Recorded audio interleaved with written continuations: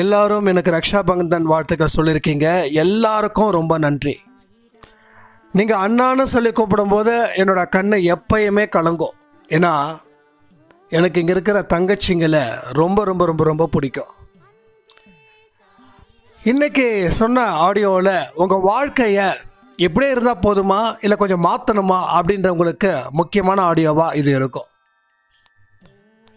இந்த சாயப்பா முன்னாடி சீட்டை குலுக்கி போட்டு பார்க்குறது பூ போட்டு பார்க்குறது ரெண்டு பேரில் காட்டி குழந்தைங்க கிட்ட போயிட்டு இந்த ரெண்டில் ஒன்று தொடு அப்படின்னு சொல்கிறது இதெல்லாம் உங்கள் வாழ்க்கையில் வீழ்ச்சியை தான் கொடுக்கும். கடவுள் உங்களுக்கு ஏற்கனவே ஒரு விஷயத்த கொடுத்துட்டாரு. அந்த விஷயத்தை நம்ம மறந்துட்டு தான் இந்த மாதிரி நம்ம செஞ்சுக்கிட்டு இருக்கோம். நம்ம வாழ்க்கையில் பெரிய மாற்றத்தை நிச்சயமாக கொண்டு வருவதற்கு இந்த ஆடியோ உங்களுக்கு பயனுள்ளதாக இருக்கும். எந்த ஆடியோவை கேட்டாலும் சரி அன்பேசாய் ஆடியோவை அதை முழுக்க முழுக்க முழுசாக கேளுங்க. அப்போ தான் அதில் சொல்ல வந்த கருத்துக்கள் உங்களுக்கு ஹண்ட்ரட் பர்சன்டேஜ் கம்ப்ளீட் ஆகும். நாம் இப்படியே இருந்துக்கிட்டு இருந்தோம் அப்படின்னா வாழ்க்கையில் எந்த முன்னேற்றமும் இல்லை. அடுத்த கட்டத்துக்கு போவதற்கு உண்டான வழிகள் என்ன இருக்குது அப்படின்றத இதில் தெளிவாக சொல்லியிருக்கோம். ரெண்டாவது சாயப்பா சொன்ன பொறுமை நம்பிக்கை மாதிரி இன்னும் ஒரு ரெண்டு விஷயம் இதில் இருக்குது அந்த ரெண்டையும் நீங்கள் சரியாக ஃபாலோ பண்ணுறீங்களா ஃபாலோ பண்ணால் வாழ்க்கையில் உங்களுக்கு வெற்றி மட்டும்தான் கிடைக்கும். தோல்வி கிடைக்க சான்ஸே கிடையாது. தோல்வி கிடைக்குதுன்னா இந்த ரெண்டு விஷயத்தையும் நீங்கள் சரியாக ஃபாலோ பண்ணலன்னு அர்த்தம். இந்த ரெண்டும் நம்மளோட உயிர் நாடி அப்படின்னு நினச்சி நீங்கள் ஃபாலோ பண்ணி பாருங்கள் வாழ்க்கையில் ஒரு பிரம்மாண்டமான வாழ்க்கையை நீங்கள் வாழ்ந்து சரித்திரம் படைப்பீங்க. நீங்கள் துன்பங்களுக்காக இங்கே பொறுக்கல. சாயப்பா தான் குழந்தைங்களை எப்படி தேர்ந்தெடுத்திருக்காருன்றதையும் அதில் சொல்லியிருக்கோம். நீங்கள் நான் எல்லாமே தேர்ந்தெடுக்கப்பட்ட குழந்தைகள் சாயப்பாவினால். அப்போது நாம் இந்த துன்பத்தில் இருந்தால் அது நமக்கு நாம் வெட்டிக்கிட்ட ஒரு குழி. நாம் அந்த குழியில் விடாமல் நம்ம எங்கே நிற்கணும் அப்படின்றதையும் இந்த ஆடியோவில் நிச்சயமாக சொல்லப்பட்டு இருக்கு இதை உங்களுக்குன்னு நினச்சி கேட்டிங்கன்னா உங்கள் வாழ்க்கையில் ஒரு பெரிய மாற்றத்தை இந்த ஆடியோ ஏற்படுத்தும்.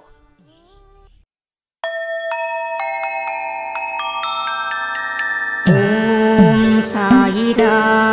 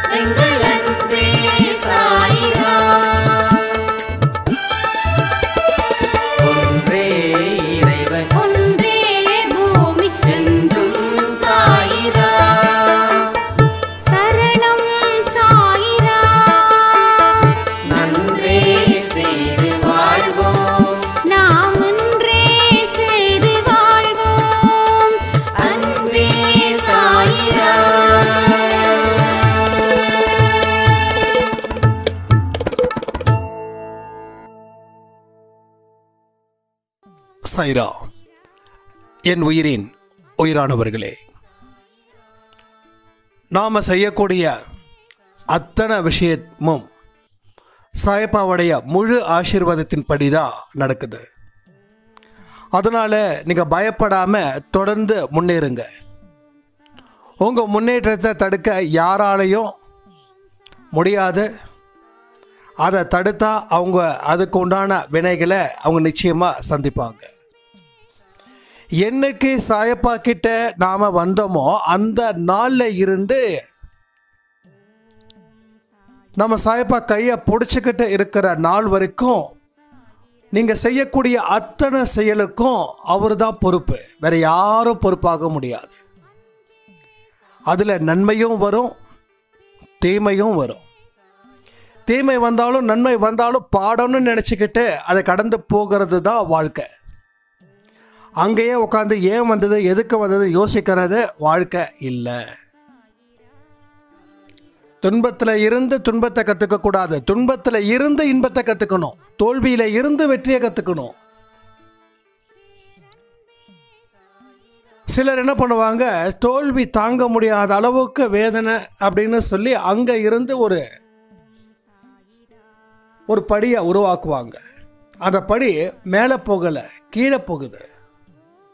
இந்த தோல்வியால் துன்பம் துன்பத்தால் வேதனை வேதனையால் அப்படி இப்படின்னு சொல்லி. அது நமக்கு தேவையில்லாத ஒன்று நம்மளோட வலிமையும் கடவுளோட வலிமையும் தெரியாதவங்களுக்கு வேணால் அது செட் ஆகும். ஆனால் நமக்கு செட் ஆகாது. ஒரு விஷயத்தை நல்லா புரிஞ்சுக்கோங்க. உங்களுக்கு எல்லாம் தெரிஞ்சும் நீங்கள் செயல்படலை அப்படின்னா அது பாவம். நம்ம இத்தனை நாள் அப்படி இருந்திருக்கலாம்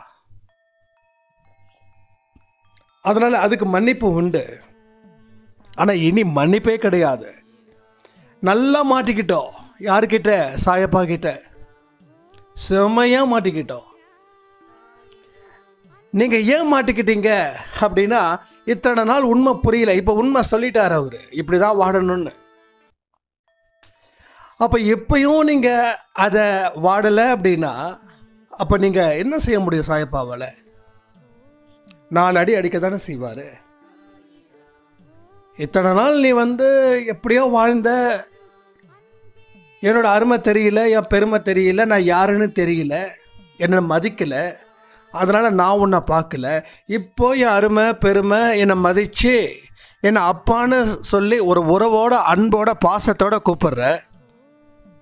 அது எல்லாத்தையும் தாண்டி நம்பிக்கையோட கூப்பிடுற. அதையும் தாண்டி என் துன்பங்கள் தீரும்னு சொல்லி என்னை கூப்பிடுற. முழு மனதாக கூப்பிடுற. நீ கூப்பிட்டதால நான் சும்மா இருக்க முடியாது. அப்போ என்னுடைய சில வழிகளை நான் சொல்லி தான் ஆகணும். அந்த வழிகளின்படி நீ வாழ்க்கை வாழ்ந்துதான் ஆகணும். வாழும்போது இருக்கக்கூடிய கடினமானதை புறந்தள்ளிட்டு உன்னுடைய எதிர்காலத்தில் நடக்கக்கூடிய நிகழ்வுகளை இப்போவே நினச்சி சந்தோஷப்பட்டு மனசில் ஆசையாக வளர்த்து உன் வாழ்க்கையை வாழு. அப்படி வாடும்போது உனக்கு இருக்கக்கூடிய பிரச்சனைகள் அப்படின்றது படிப்படியாக பறந்து போயிடும். இதுதான் சாயப்பா தன்னுடைய குழந்தைங்களுக்கு சொல்லக்கூடிய பெரிய பெரிய உபதேசம். இது லைஃப்பில் நான் நிறைய கற்றுக்கிட்டேன் நிறைய உள்ளுணர்வுகள் மூலமாக வாழ்க்கையில் எனக்கு நிறைய விஷயத்த டீச் பண்ணிக்கிட்டு தான் இருக்காங்க. எனக்கு மட்டும் இல்லை. நான் நான் மட்டும் என்ன ஸ்பெஷலாக என்ன? நாம் எல்லாருமே ஸ்பெஷல் தானே? எந்தெந்த மனுஷங்க எல்லாம் மனசாட்சிக்கும் கடவுளுக்கும் பயப்பட்டு ஒழுக்கமான வாழ்க்கையை வாழுறாங்களோ அத்தனை பேரும் ஸ்பெஷலிஸ்ட்டு தான். ஸ்பெஷலைஸ்டு சில்ட்ரன்ஸ் எல்லாருமே இதில் ஒருத்தன் ஸ்பெஷலிஸ்ட்னா அவன் முட்டாள். எல்லாருமே ஸ்பெஷல் கடவுளால் கவனிக்கப்படக்கூடிய குழந்தைகள். அப்போ என்ன பண்ணணும்? மனசாட்சிக்கு கட்டுப்பட்டு கடவுளுக்கு கட்டுப்பட்டு வாழ்க்கையை வாழணும். சில பேர் மனசாட்சியை அடமானம் வச்சுடுவாங்க. நான் கடவுளுக்கு கட்டுப்பட்டு வாடன்றவாங்க அது வேலைக்கு ஆகாது. சில பேர் மனசாட்சியின் படி தான் நான் வாழுவேன். கடவுளுக்கு கட்டுப்பட தேவையில்லை அப்படின்னு நினைப்பாங்க. அதுவும் இருக்கக்கூடாது. மனசாட்சியும் ப்ளஸ் கடவுளுக்கு கட்டுப்பட்டும் வாழக்கூடிய வாழ்க்கையில் பிரச்சனைகள் கடினமான விஷயங்கள் ஆரம்பத்தில் கொடுக்கும்.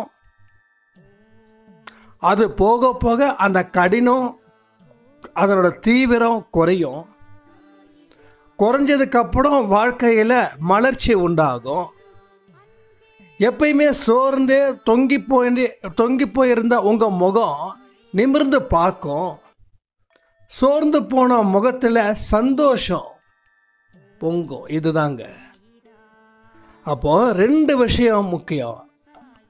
சாய்ப்பா சொன்னார் பொறுமை நம்பிக்கை. அது ஓகே ஃபாலோ பண்ணுறோம். ஆனால் இப்போ மனசாட்சிக்கும் சாயப்பாவுக்கும் கட்டுப்பட்டு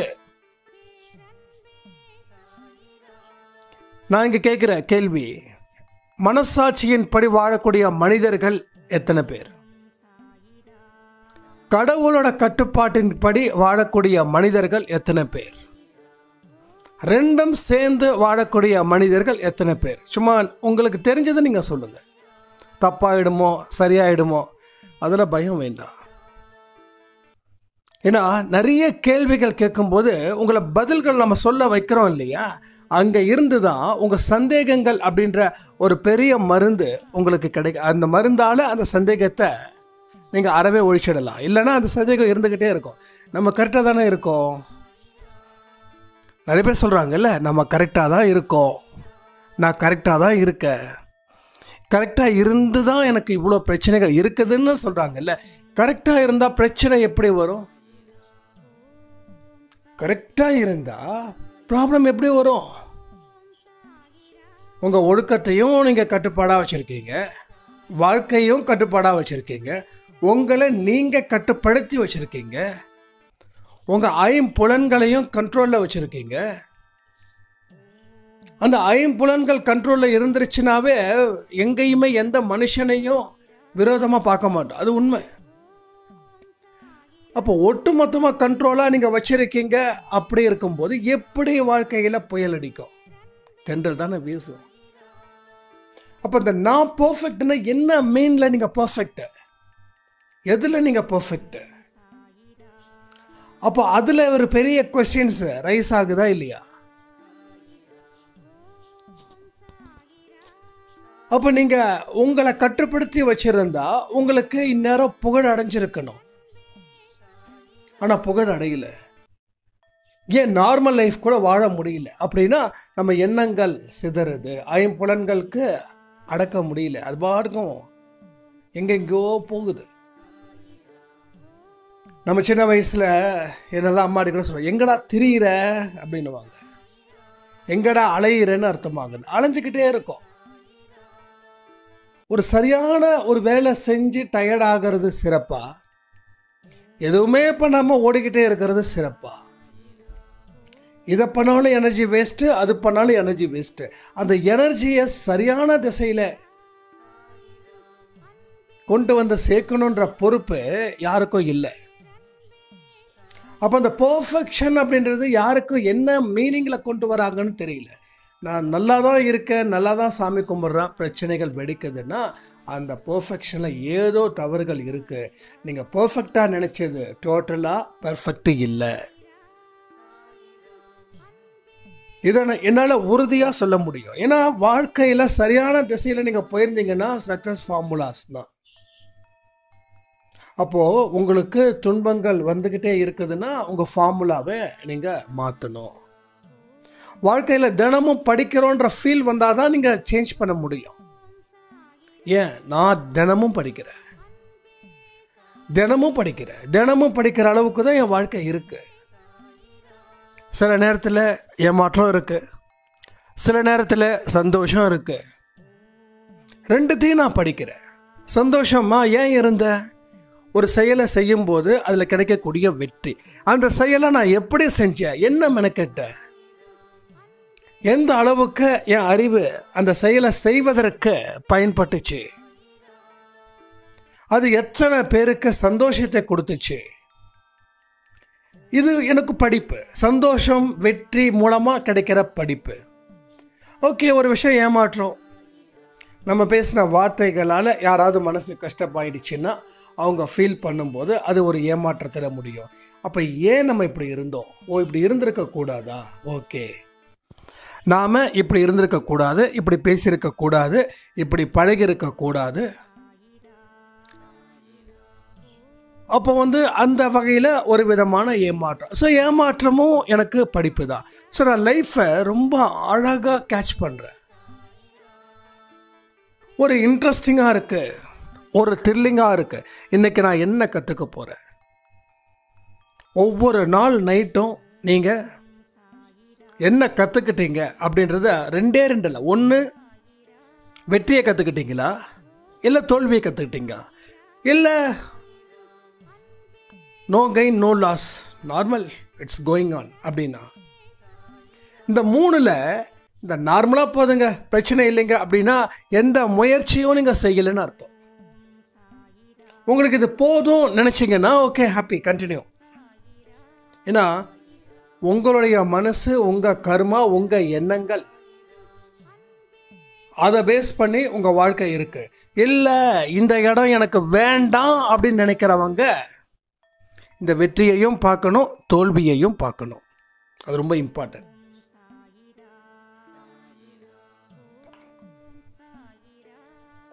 உங்களுக்கு புரியுதா? மொத்தம் மூணு விஷயங்கள் இங்கே நடக்குது. ஒன்றா வெற்றி இல்லை தோல்வி. சரி ஒன்று வெற்றி ஒன்று தோல்வி. இல்லைன்னா மாடரேட் எதுவும் இல்லை அது இல்லை. ஆஸ் யூஷுவல் என் வாழ்க்கையில் என்ன இருக்குதோ அப்படி. அது ஆஸ் யூஷுவலாக என்னோடய வாழ்க்கை இப்படியே இருக்குது அப்படின்னா அது உங்களுக்கு பிடிச்சிருந்தா நீங்கள் கண்டினியூ பண்ணுங்கள் யாருக்காகவும் நீங்கள் உங்களை மாற்றிக்காதீங்க இல்லை இல்லை எனக்கு இந்த இடம் பிடிக்கல. இன்னும் கொஞ்சம் பெஸ்ட்டாக மாறணும். அப்படின்னு நீங்கள் யோசிச்சிங்க. உங்களுக்கு ஆசை இருக்குது உங்களுக்கு இந்த இடம் பிடிக்கல இந்த இடத்துல நிறைய பிரச்சனைகளை நீங்கள் அனுபவிக்கிறீங்க. அப்படி இருக்கும்போது என்ன செய்யணும்? வாழ்க்கையாக வாழணும். வாழும்போது கிடைக்கக்கூடிய விஷயத்தை ஏற்றுக்கணும் இதுதான். அப்போ எத்தனை பேருக்கு வெற்றி வேணும்? வெற்றி அண்டு தோல்வி ஒரு பாட்டாக வச்சுக்கலாம். இல்லை நான் இப்படியே இருக்கிறேன். பாயிண்ட் நம்பர் ஒன்றில் இருக்க ஆசைப்படுறீங்களா? வாடணும்னு. இல்லை நான் இப்படியே இருக்கிற அப்படின்னு பாயிண்ட் நம்பர் ரெண்டில் இருக்கீங்களா? இதை நீங்கள் ஃபுல்லாலாம் எழுத வேண்டாம். ஒன்று ஆர் ரெண்டுன்னு மட்டும் போடுங்க. எத்தனை பேர் நிம்மதி கிடைச்சிடுச்சு? நான் இப்படியே வாழ்ந்துக்கிறேன்னு சொல்கிறவங்க ரெண்டு. இல்லை இன்னும் கொஞ்சம் வாழணும் அப்படின்னு ஆசை இருக்குதுன்னு சொல்கிறவங்க ஒன்று நீங்கள் என்ன சொல்கிறீங்களோ அது நடக்க போகுது. ஒன்றா ரெண்டா? இங்கே பாருங்கள் விரலை நீட்டிலாம் கேட்கக்கூடாது. பேப்பரை போட்டு கேட்கக்கூடாது பூ போட்டு கேட்கக்கூடாது. சில பேர் இந்த விரலை தொட்டு கேட்குறது பேப்பரை போட்டு கேட்குறது அதெல்லாம் சொன்னால் கரெக்டாக இருக்காது. நீங்கள் ஒன்றும் இல்லை ஒரு பேப்பரை எழுதுங்க. எஸ் நோ அப்படின்னு போடுங்க. ஃபஸ்ட்டு என்ன வருதுன்றதை பாருங்கள் எஸ் வருதா? சரி கடவுளோட விருப்பம் அதுதான் அப்படின்னா நீங்கள் எத்தனை தடவை பேப்பரை குலுக்கி போட்டாலும் எஸ் தானே வரணும்? ஏன் ரெண்டாவது சீட்டு நோ வருது? இப்போ மூணாவது பார்க்குறீங்க. இப்போ எஸ் வருது. இப்போ என்ன பண்ணுவீங்கன்னா ஆவரேஜ் பண்ணுவீங்க. இங்கே பாருங்க என் வாழ்க்கையில் நான் கெட்டதே இதுதான். நான் அது ஏன் சொல்கிறேன் ப்ரோ இப்போது ரெண்டு மெஜாரிட்டி எது வருதோ அது. அந்த கணக்குக்கு போகிறீங்க ஆனால் இப்போ ஒரு கன்ஃபியூஷன் இல்லை ஃபஸ்ட்டு நோ தானே வந்துச்சு. உங்களோட காம்ப்ளிகேட்டட் எங்கே ஆரம்பிக்குது தெரியுமா? இதுக்கு தீர்வுகள் அங்கே இல்லை. தீர்வுகள் உங்களுக்குள்ளே இருக்கு. நீ என்ன எடுக்கிறையோ அது உனக்கு மங்களம் உண்டாக்குகன்னு சொல்லிட்டு போயிடுவார் அவர். யாரு? நம்ம சாயப்பா. நீங்கள் முயற்சிகள் செய்யணும். அதுதான் வாழ்க்கையில் ரிசல்ட்டை கொடுக்கும். ஏன்னா அவருக்கு வந்து புதுசாக உங்களுக்கு எதுவும் சொல்ல போகிறது இல்லை. உங்களுக்கு இப்போ எனக்கு இந்த வாழ்க்கை எனக்கு பிடிச்சிருக்குதுன்னா எனக்கு பிடிச்ச வாழ்க்கை உங்களுக்கு பிடிக்கணும் அப்படின்னு யாரும் எதிர்பார்க்க முடியாது. அதே மாதிரி உங்களுக்கு பிடிச்ச வாழ்க்கை எனக்கு பிடிக்கணும்னு எதிர்பார்க்கவும் முடியாது. அது சாப்பாடாக இருக்கட்டும் போட்டுக்கிற ட்ரெஸ்ஸாக இருக்கட்டும் பேசக்கூடிய விதமாக இருக்கட்டும் சில பேருக்கு சத்தமாக பேசினா பிடிக்கும் சில பேருக்கு மெதுவாக பேசினா பிடிக்கும். சில பேர் எப்போ பார்த்தாலும் கொஞ்சம் ஒரு மாதிரி ரிசர்வ் டைப்பாக இருப்பாங்க சில பேர் ரொம்ப ஜாலி டைப்பாக இருப்பாங்க. இப்படிலாம் நிறைய நிறைய விஷயங்கள் வந்துக்கிட்டே இருக்கும். அதனால் எனக்கு பிடிச்சது உங்களுக்கு உங்களுக்கு பிடிச்சது எனக்கு இல்லை. சாயப்பா ஒரு விஷயத்த சொல்லிட்டாரு. நீ என்ன எடுக்கிறியோ அதை நான் சரி பண்ணுறேன். ஆனால் என் மேலே நம்பிக்கையோடு நீ வாடு. இவ்வளோதான் நான் காலேஜ் படிக்கும்போது பூவா தலையாக போட்டு பார்ப்போம். பூ விழுந்தா சினிமா தலை விழுந்தா காலேஜ் இப்போது போடும்போது அது தலை தான் விழும். காலேஜ் நமக்கு காலேஜுக்கு போகக்கூடாதுன்னு முடிவு பண்ணதால தான் இந்த பூவா தலையா. அப்போ அங்கே போய் காலேஜ் விழுந்தா நம்ம எடுத்துப்போமா? மறுபடியும் போடு. எப்போ பூ வருதோ அது வரைக்கும் போடு. நாலாவது தடவை பூ விடும். ஓகே இப்போ பூ விழுந்துருச்சு வா மூவிக்கு போகலாம் ஏன் உடனே என் கூட இருக்கிற ஃப்ரெண்ட்ஸுக்கு ஆய் நான்லாம் வரல. நான் காலேஜுக்கு போகிறேன் இல்லை அட்டண்டன்ஸ் கம்மி ஆயிடுச்சுன்னா எக்ஸாம் எழுத விட மாட்டாங்க. அப்படின்னு. சரி நீ போகிறதுனா போ. நீ என் மட்டும்தான் எனக்கு ஃப்ரெண்டா உடனே நம்ம நண்பர்கள் இருப்பாங்க. எங்கடா இருக்கிற? என்ன ஃபோன் பண்ணா? அதான் மச்சான் காலேஜுக்கு போகணுமா? வேண்டாமான்னு தெரில மச்சான் அப்படின்னா. போவாதடா. வா ஏதோ ஒரு புதுசாக ஒரு மூவி ரிலீஸ் ஆகிருக்கான் வா போகலாம் வா. மச்சான் போகலான்னு நினச்சேன் மச்சான் காலேஜுக்கு நான். அட காலேஜ் எங்கே வேணாலும் இருக்கும். ஆனால் movie first day first show ஜாலியாக போகலாம் வா. அப்படின்னு சொல்லி இவன் காலேஜுக்கு போயிடுவான் அவனை கூட்டிட்டு நான் சினிமாவுக்கு போயிடுவேன். அந்த டேக்கு ஃபுல்லாக ரொம்ப ஜாலியாக இருக்கும். வீட்டை ஆறு ஆறரை மணிக்கு மூஞ்ச சோகமாக வச்சுக்கணும். இல்லாட்டி வீட்டில் வந்து அம்மாக்கிட்டே அப்பாக்கிட்டே திட்டு வாங்கணும். ரொம்ப ஃபீல் பண்ணும். அவனு அம்மா வந்து சரிடா மதியானமே சாப்பிட்ருக்க மாட்டேன் அதனால் இரு தோசை ஊற்றி கொடுக்குற சட்னி அரைக்கிறேன்னு சொல்லி நல்ல விருந்து. இப்படி தான் நம்ம போச்சு. கடைசியில் அட்டண்டன்ஸ் எழுத முடியல. சாரி எக்ஸாம் எழுத முடியல. அட்டண்டன்ஸ் கம்மி. அந்த செமஸ்டர் ஃபுல்லாக லாக்கு அப்போது வீட்டில் எக்ஸாம் எழுதணும்னு சொல்லணும். அப்பையும் மறுபடியும் யாராவது ஒருத்தன் கிடைப்பான். ஏன்னா படிக்கிறவனுக்கு நாலு ஃப்ரெண்டு தான். படிக்காத என்ன மாதிரி இருக்கிறதுக்கு ஒருலாம் ஃப்ரெண்டு தான். என்ன மச்சான்னு சொல்லிட்டா போதும். என்ன மச்சி? அவ்வளோதான் மச்சி மச்சி மச்சி தான். இதுதான். இந்த ஸ்டாங்கு தான். இது ஒரு பெரிய ஒரு இதாக இருக்கும். இப்போ கூப்பிட்றது இல்லை. எல்லாரும் அவங்கவுங்க அவங்கவுங்க வேலையை பார்த்துட்டு இருக்காங்க. அப்போ வந்து காலையில் எக்ஸாம் எழுதுற போகிறேன்னு சொல்லிட்டு மூவிக்கு போயிட்டு வீட்டுக்கு வந்துடுவோம் அடுத்த செமஸ்டரில் காலையில் கரண்ட் பேப்பர் எழுதணும். அன்னைக்கு மதியானம் அரியர் பேப்பர் எழுதணும். காலையில் ஒரு எக்ஸாம் மதியானம் ஒரு எக்ஸாம் ஐயா ரொம்ப பிஸி மொத்தம் ஐ திங்க் எட்டு சப்ஜெக்டோ பத்து சப்ஜெக்டோ தெரில மொத்தமாக சொல்கிறேன் ஃபஸ்ட் செமஸ்டர் செகண்ட் செமஸ்டர் சேர்த்து. அதில் ரெண்டு தீயை எழுதி என்னை எல்லாம் ஓட்டு ஓட்டுன்னு விட்டானுங்க.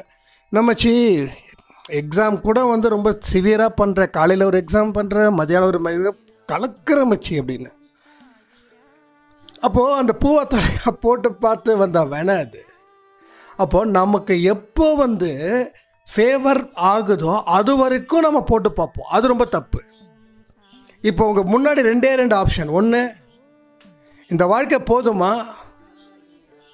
இல்லை இன்னும் வாழ்க்கை பெருசாக்கணுமா? இவ்வளோதான் நான் வந்து ஒரே விஷயத்தை தான் சொல்லுவேன். என் வாழ்க்கை பெருசாக்கணும். ஏன்னா கற்றுக்கணும் ரெண்டாயிரத்தி பத்தொம்போதில் நான் பேசாயில் ஆடியோவில் பேசினதுக்கும் ஒரு அனுபவம் எனக்கு இருக்குது ரெண்டாயிரத்தி இருபத்தி மூணில் நான் பேசுகிறதுக்கு ஒரு அனுபவம் இருக்குது ரெண்டாயிரத்தி பத்தொம்போதில் நான் பேசும்போது இருக்கக்கூடிய ஆடியோவில் நான் பே நானாக இது பேசுகிறேன் அப்படின்ற மாதிரி ஒரு ஃபீல் அவ்வளோ ஸ்லோவாக பொறுமையாக நிதானமாக நான் பேசினேன். நான் விஷ்ணு சாயிட்ட கேட்டேன் நானா பேசுகிறேன் இவ்வளோ ஸ்லோவா அப்படின்னு. ஆமாம் இப்போ தான் நீங்கள் கற்றுக்கிறதுன்னு கற்றுருக்க மைக்கே வந்து தீப்பிடி தீயாயிடும் போல இருக்குது அப்படின்னு. அப்போ ஒவ்வொரு நாளும் ஒவ்வொரு அனுபவம். நீங்கள் ரெகுலராக கமெண்ட் பண்ணுற சாயராமா இருந்தால் நீங்கள் சில வீடியோஸை பார்த்து அதில் உங்கள் கமெண்ட் வருதா நீங்கள் என்னைக்காவது படித்து பார்த்துருக்கீங்களா?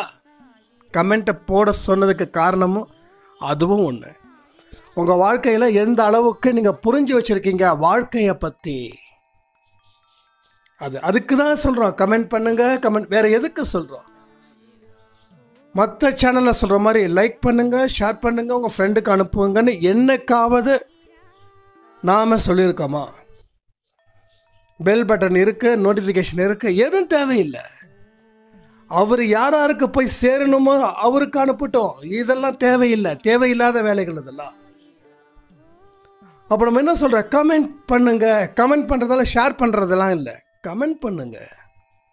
உங்கள் வாழ்க்கை பற்றி என்ன தெரிஞ்சுக்கிட்டீங்க? நீங்கள் தெரிஞ்சுக்கணும். ரெண்டாயிரத்தி பத்தொம்போதில் இருந்து அன்பே சாய் பார்க்குறவங்க இங்கே நிறைய பேர் இருக்கீங்க. அவங்களுக்கு தெரியும் அந்த ஸ்பீச்சு அப்பையிலேருந்து இப்போ வரைக்கும் எப்படி இருக்குதுன்னு. ஏன்னா இதையும் நேற்று ஒரு சாய்ராம் என்கிட்ட சொல்லியிருந்தாங்க. ஆனால் டூ தௌசண்ட் நைன்டீனில் அவ்வளோ சாஃப்டாக பேசுனீங்க. இப்போ அடிக்கடி பொங்கிடுறீங்களே அப்படின்னு ரொம்ப விளையாட்டாக சொன்னாங்க. என்னம்மா பண்ணுறது அன்னைக்கு கற்றுக்கிட்டது அது இன்றைக்கி கற்றுக்கிட்டது இது. அன்னைக்கு வந்து என்ன ட்ராக்குன்னு நமக்கு தெரியல. ஆனால் இன்றைக்கு தெரியுது. இங்கே நீ மட்டும் ஜெயிச்சா பத்தாது. எல்லாரையும் ஜெயிக்கணும். பத்து பேரில் ஒருத்தவங்க தோத்தா நீ தோத்த மாதிரி. பத்து பேரும் ஜெயிச்சாதானே நீ ஜெயிச்ச மாதிரின்னு தலைவர் சொல்லிட்டார். அப்போ எப்படி பொங்காமல் எப்படி இருக்க முடியும்? அப்போ நீங்கள் நல்லா புரிஞ்சுக்கோங்க ஒரு விஷயத்தை. நம்ம வாழ்க்கை எப்படிப்பட்ட வாழ்க்கையாக அமைச்சிக்கிறது அப்படின்ற இடத்துல எதுவே போதும்னா வாழ்க்கை இப்படியே இருந்தால் போதும் அப்படின்னு நினச்சிங்கன்னா உங்களுக்கு எதுவுமே நீங்கள் கற்றுக்க வேண்டாம். அன்பே சாயை நீங்கள் கேட்கவும் வேண்டாம். நான் அடித்து சொல்கிறேன் நீங்கள் இந்த வாழ்க்கை இதே போதும்ப்பா நான் புதுசாலாம் ஒன்றும் கற்றுக்கல புதுசாலாம் ஒன்றும் அடுத்தது. எனக்கு இதே போதும். இப்படி நான் வாழ்ந்துடுறேன். அப்படின்னா நீங்கள் எதையுமே கற்றுக்கலன்னு அர்த்தம். அப்போது நேரத்தை நீங்கள் வந்து வேஸ்ட் பண்ணிக்க நேரத்தை வந்து அன்பே சாய் ஆடியோவை கேட்குறதால உங்கள் நேரத்தை வேஸ்ட் பண்ணிக்க வேண்டாம். இல்லை நான் கற்றுக்கிறேன் நான் மன ரீதியாக இன்னும் ஸ்ட்ராங்காக ஆகணும். இது பத்தாது. இங்கே காசு பணம் சம்பாதிக்கிறதுக்காக நான் மன உறுதியை ஸ்ட்ராங் பண்ணலை. வாழ்க்கையை சம்பாதிக்கணும். வாழ்க்கையில் இருக்கக்கூடிய அத்தனை விஷயத்தையும் நான் கற்றுக்கணும் அதுக்கு தான் நான் இருக்கேன். அப்படின்னா முயற்சிகளை உடனே பண்ணுங்க. அதே மாதிரி இன்னொரு சின்ன ரெக்வஸ்ட் வைக்கிறேன். தயவு செய்து அன்பே முழுசாக கேளுங்கள் பத்து நிமிஷம் பதினஞ்சு நிமிஷம் கேட்க வேண்டாம். முழுசாக கேளுங்க டைம் எடுத்து கேளுங்க. இல்லைன்னா கேட்காம இருங்க. ஏன் சொல்கிறேன்னா ஃபுல்லாக கேட்டால் தான் உங்களுக்கு புரியும். நான் எழுதி வச்சு படிக்கிறது இல்லை. அப்போ எனக்கு எதை முன்னாடி சொல்லணும் எதை பின்னாடி சொல்லணும்னு எனக்கு தெரிஞ்சால் நான் சொல்ல மாட்டேன்னா? நான் பேசுகிறத வச்சு தான் சொல்கிறேன் அதனால் முழுக்க கேட்டால் தான் உங்களுக்கு புரியும். ஸோ வாழ்க்கையை பற்றி நல்ல ஒரு புரிதல்களை நாம் அன்பே சாயில் சாயப்பா நமக்கு கொடுத்துக்கிட்டே இருக்காங்க. அதை தொடர்ந்து நாம் கடைப்பிடிச்சு நம்ம வாழ்க்கையில் சந்தோஷமான இடத்துக்கு போகணும் அப்படின்றது தான் என்னுடைய எண்ணம். இன்றைக்கி எல்லாரும் எனக்கு ரக்ஷாபந்தன் விஷயம் சொல்லியிருக்கீங்க. எல்லாருக்கும் நன்றிகள். எனக்கு யாராவது அண்ணான்னு சொல்லி கூப்பிட்டா என் கண்ணு ஆட்டோமேட்டிக்காக கலங்கும். அது இப்போ மட்டும் இல்லை எப்பயோ. அந்த அண்ணான்ற ஒரு வார்த்தையில் அந்த அவ்வளோ அன்பும் அவ்வளோ அக்கறையும் ஒரு உயிரான ஒரு வார்த்தையாக நான் பார்க்குறேன். அதனால் உங்களுடைய விஷஸ்க்கு நான் தலை வணங்கி நிற்கிறேன். நம்ம எல்லாரும் சந்தோஷமாக இருப்போம். இந்த மாதிரியான ரிலேஷன்ஷிப் வேறு எங்கேயும் இல்லை. எங்கள் குடும்பத்தில் மட்டும்தான் இருக்குதுன்னு பெருமையாக நம்ம மனசில் சொல்லிப்போமே. இந்த வாழ்க்கையை சிறப்பாக ஆக்கிக்கக்கூடிய பொறுமை புத்தி நம்பிக்கை மனசாட்சி கடவுளுக்கு கட்டுப்பட்டு நடத்துறது. இது எல்லாமே இங்கே ஏராளமாக தாராளமாக இருக்குது நாம் முயற்சிகள் செய்ய செய்ய வாழ்க்கையில் மிகப்பெரிய ஒரு இடத்துக்கு நம்ம போவோம்னு சொல்லி இந்த ஆடியோவை முடிக்கிற ஜெய் சைராம்